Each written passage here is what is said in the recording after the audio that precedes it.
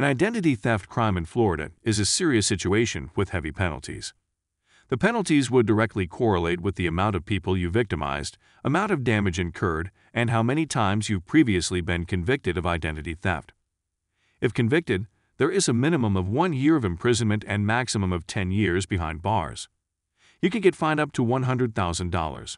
If you're a repeat offender, you will have a minimum sentence of 3 years and a maximum of 15 years and fine up to $250,000. Also, a restitution can be ordered, where offenders are ordered to pay back individuals or businesses they defrauded through identity theft. It's important to remember that you have rights.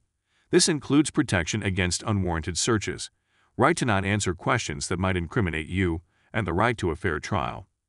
If you are charged or have been arrested for identity theft in Miami, Florida, contact the law office of Beckham Solis at 305 860 4884.